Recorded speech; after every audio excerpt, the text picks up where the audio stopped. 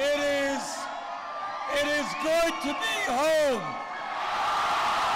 As I think all of you know, this campaign is not just about electing a president, it is about transforming America.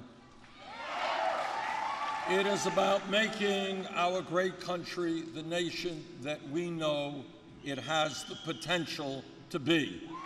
It is about dealing with some unpleasant truths that exist in America today and having the guts to confront those truths.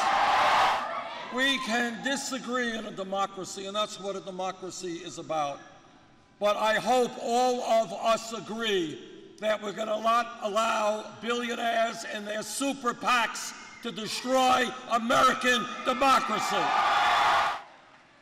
And together we are going to end and reform a broken criminal justice system.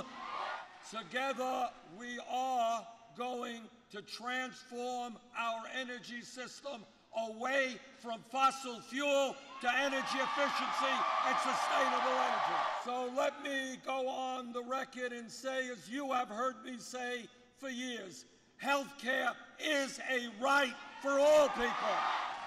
Now, tonight, you're going to see a lot of election results come in. And let me remind you of what the media often forgets about. These are not, this is not a general election. It's not winner take all. If you get 52%, you get 48%, you roughly end up with the same amount of delegates in a state. By the end of tonight, we are going to win many hundreds of delegates.